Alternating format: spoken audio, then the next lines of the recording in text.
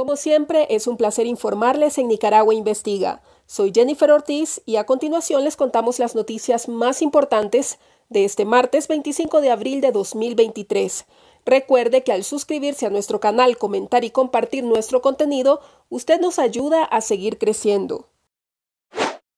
Una buena noticia se vislumbra para los nicaragüenses que recibieron por primera vez el estatus de protección temporal en Estados Unidos, conocido como TPS, pues congresistas han enviado una comunicación al presidente Joe Biden para que pueda extender dicho beneficio a Nicaragua y otros países. En febrero de este año, unas 29 organizaciones de inmigración, derechos humanos, religiosas y de derechos civiles enviaron una misiva a la administración Biden para que reasignara el estatus de protección temporal para Nicaragua en vista de la crisis sociopolítica que se vive en el país. Las mismas condiciones que están obligando a muchos nicaragüenses a huir y buscar protección de asilo en los Estados Unidos son las que hacen que la deportación sea tan insegura e injustificada, sostuvo la comunicación. El recientemente desterrado exprisionero político Juan Lorenzo Holman, gerente general del diario La Prensa, relató en un evento de la Sociedad Interamericana de Prensa las difíciles condiciones a las que fue sometido en las cárceles del régimen de Daniel Ortega. Holman recordó que la prensa fue confiscada después de su detención y que toda su redacción se vio obligada al exilio. Creo que Nicaragua es el país de Latinoamérica que tiene más periodistas independientes en el exilio, aseguró. También manifestó que a pesar de todo, el diario seguirá informando y que han conseguido esto gracias a manos amigas que les ayudan a seguir sosteniéndose, pero también gracias a los lectores que continúan leyendo el periódico en línea y confiando en la información que bajo difíciles circunstancias dan a conocer.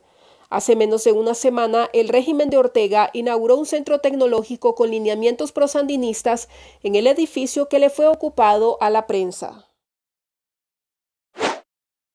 El actual presidente de Estados Unidos, Joe Biden, anunció que postulará su candidatura a la reelección para los comicios de 2024.